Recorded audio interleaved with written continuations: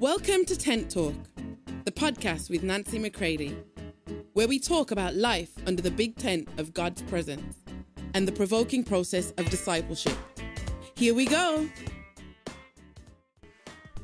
Hey, everybody, welcome to Tent Talk. This is Nancy McCready. Check out these next few episodes, The View, and allow yourself to be provoked and challenged. Are you seeing things from His point of view? And is that view becoming more and more your habitual way of seeing things? We don't want our past or anything else to constantly be exalting itself over the knowledge of God.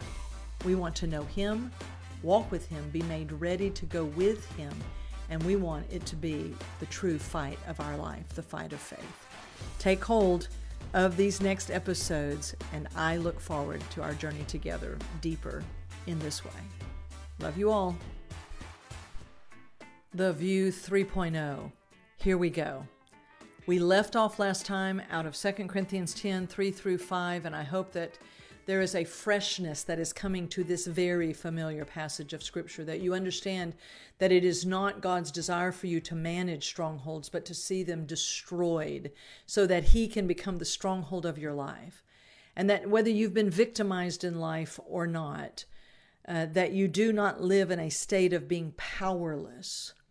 My friends, we're fully dependent upon Him. The power doesn't come from us.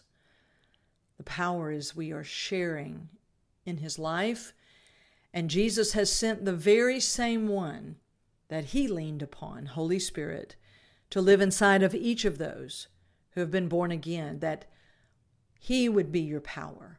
Holy Spirit is your power to live to war, to fight.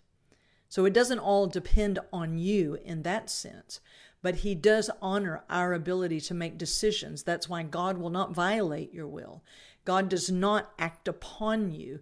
God calls you to choose Him, and that's why He's revealing truth to you at new levels. So here we go, my friends. We look at this word refute, which means to prove wrong with evidence. This is so powerful because as you allow Him to love you, you will have evidence, my friends. Now, the Word of God is clear that we have been loved by God. It is in there again and again and again. And you might want to go and just limit yourself in the New Testament to some of the places where it talks about His great love for you, His great jealousy for you James 4, verse 5. The guys said in 1 John 4, you know, we have come to know this love that he cherishes for us. I'm of the belief that's why they lived the way they did.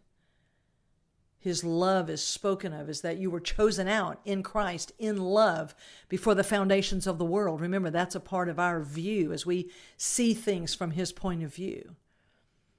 So you will be able to prove lies wrong with evidence and prove and bring down and destroy strongholds. When the igniting of that metanoia comes into you, that striking change in the way that you see things, and therefore you begin to download from spirit into soul the truth. And we're going to talk about that just here in a minute. I'm going to give you just a very simple way of, of being able to do that, not as a formula. I refuse formulas. Fellowship, my friends, is what will bring to you the freshness of life. Fellowship with Him. He will speak to you, He will make real in your experience an experiential way of living. He will make that real if you stay with Him. Don't run off, my friends. Abide, remain, continue. So we refute every, all right, now catch this. it's like if we only do this occasionally, mm-hmm, like the saying hit and miss, if you only do it hit and miss, you get hit and miss results.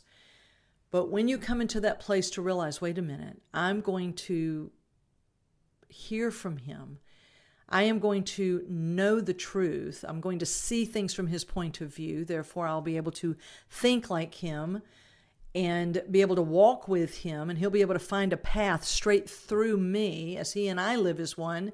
He'll be able to live through me with my full cooperation, and you'll be a glad hearted son. Oh, this is going to be magnificent. A company of glad hearted and jealous sons who are jealous for the Father. See, the Father's jealous for you, He wants only you. And He says, Have no other gods before me. And we, in response, out of our life with Him, we are jealous for Him.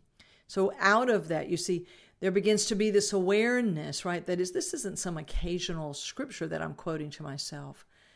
I am getting ready to take down arguments, theories, reasonings, proud and lofty things that are set against my Father. So, how many of those? Every. when I first uh, experienced this, I thought, I, am sorry, I'm going to have to go to bed. I mean, I'm telling you, my friends, it was a full time job renewing quote, renewing my mind. I thought I'm going to I'm gonna have to go to bed at 6:30 at night. Just give me a little dinner. I'm I'm done for the day. This is quite a warfare. And yes, it is. And we need to talk about that. And we need to acknowledge that. Because I ask people, well, how, how often has the lie been coming to you? Did the lie come to you once or twice? No, it's pummeled you every day. We allowed that. We tolerated that, didn't we? It became a constant companion.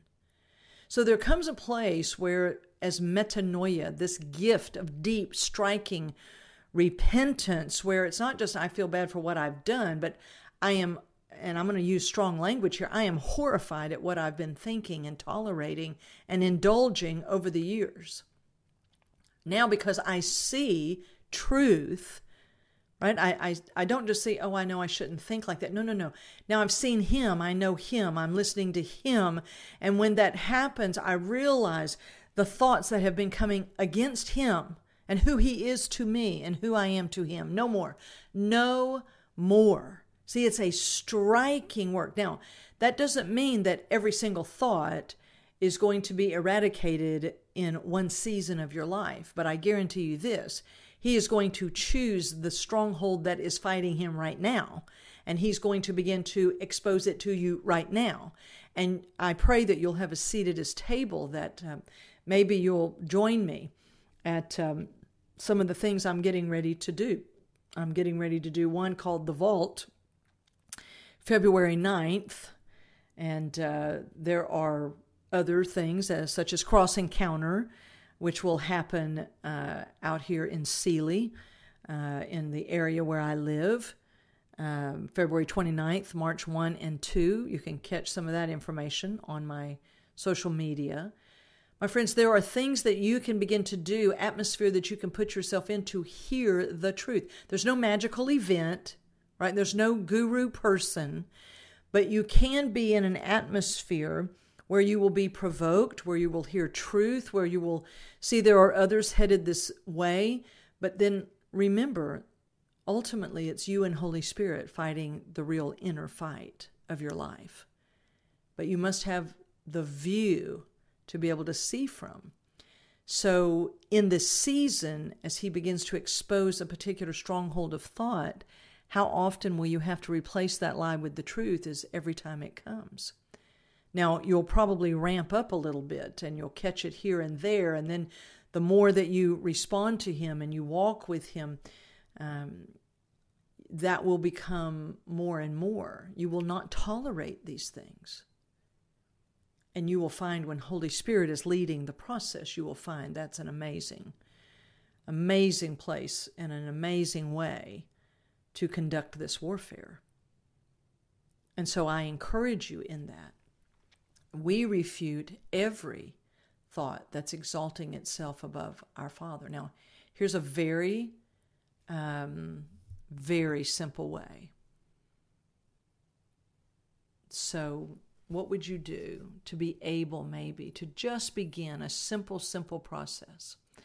Okay, well, here we go. This is not a formula. Did I say that before? Let me say it again. This is not a formula.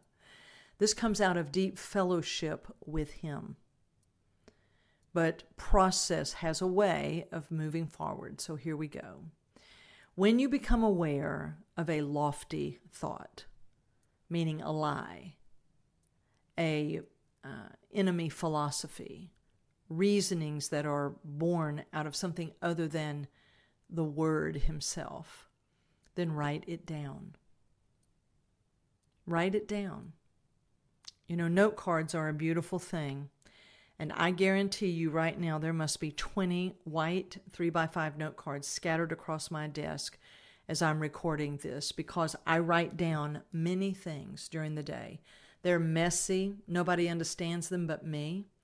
And later on at the end of the day, when I pick all those cards up, I'm able to put them, you know, in certain categories. It's a part of the way that I keep my thoughts right on many different things that I'm doing and projects and things he might be speaking to me that I need to go and take a look at a little deeper when I have more time.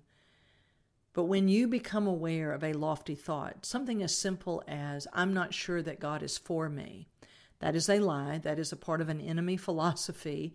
Uh, that is something definitely exalting itself above the knowledge of God. Write it down. Then take time with Him to allow conversations between you and Him about what He wants to tell you about that. He will reveal truth to you like no one else can. Holy Spirit is called the Spirit of truth. He will reveal the Word to you. And when you feel the pressure of, I'm not going to know how to do this, I can't figure it all out, that's when you lean unto Him and you say, Holy Spirit, you do this in me and for me as you were sent to do, and I'll let you. So, number one was if you become aware of a lofty thought, a lie, as He is revealing it to you and exposing it to you, it's a view that's not of Him, write it down. Then take time with Him to allow conversations between you and Him. Okay, because there are things He wants to tell you. Jesus told His disciples, There are conversations I'd like to have with you, but you're not ready yet. My friend, if you're listening to this episode, you're ready. There are things He wants to reveal to you. Next is take what He reveals to you by what He speaks to you and what He reveals in the Word and meditate on it. I say this to myself quite often, and maybe you'll want to also, is meditate to articulate. Number one, when you become aware of this lie, this lofty, proud thought, this uh, argument, this prideful way of thinking, write it down. Number two, take time with him to allow conversations between you and him about what he wants to tell you, what he wants to show you, where he wants to reveal truth from his point of view. He's going to show you the truth. Then you're going to take that and you're going to meditate on it. You're going to think about that. And while you're doing that, say to yourself, I meditate to articulate. That means the more I meditate on it, the more I'm going to start to speak it out and I'm going to begin to speak it to my soul. Me, you, the new man, who I am, I will tell my soul, this is what is true. Hmm? This is this is what is true. And you download that into the soul. There begins to be a renewing of the mind within the soul that's coming from pure water, the mind of Christ. Now, last point here. Each time that thought comes and dares to exalt itself above the knowledge of Him, you will refute it with evidence. You will meet it with truth that is filled with the fire of His presence. And I pray that gradually more and more, yes, each time, every thought, each time, because then, my friends, rather than you habitually thinking according to the mind of the flesh and living in a view that is other than His, you will slowly but surely, by the slow fire of His presence, you will habitually think like your Father. He will be able to have a fit reception within you because you agree with Him more and more. And the two of you will move as one. My friends, either there really is a way for Him to bring revelation into reality, or I don't know what we're doing. This is all, you know, just for naught, for nothing. Hmm? So, this isn't a formula. It's just a simple exercise to get you started moving in this direction to fight the true fight of faith, the fight of your life. And we will uh, continue who knows? The next episodes may still be The View, or it may be a different um, aspect that's been brought up in these three episodes on The View, and we will then go deeper in. Because once you choose to, to move with Him in this way, and you begin the process, the real fight of faith to believe Him, you begin to truly do the inner work of the fight of your life, my friends, then that's a part of Him building a certain kind of person who isn't going to tolerate the status quo in our day. And He begins then to bring you forward, and you begin to live, my friends, as, as a as the person that you were made to be, first and foremost to Him, to those immediately around you, and to your generation. So, your view, my friends, in view of the mercies of God, in view of the goodness of God, in view of the finished work of Jesus, in view of how things really are, the real truth, let's live unto Him. Until next time, I love you all. Thank you for listening today. Before we go, I have one final ask and a new bit of info. If you like our content here at Tent Talk, hit the share button to tell someone about it and subscribe at nancymccready.com forward slash podcast so you don't miss another episode. Also, be sure to look in the episode notes and see where you can download the conversation guide.